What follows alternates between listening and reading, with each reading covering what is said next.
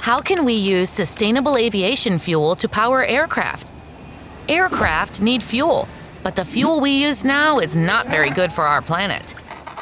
There is an exciting alternative sustainable aviation fuel, or SAF. SAF is made from all kinds of stuff, from things we would throw away to forestry waste, and even combining captured CO2 with hydrogen. So SAF can be used to power aircraft in a cleaner way. Then why doesn't every aircraft use SAF? First, we need to figure out how to produce more of it, because right now there isn't enough. And it's still expensive compared to regular fuel. When there's more available, the cost will go down. A lot.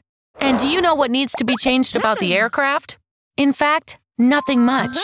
From the smallest helicopter to the largest passenger plane, any recent aircraft can use SAF blended with regular fuel.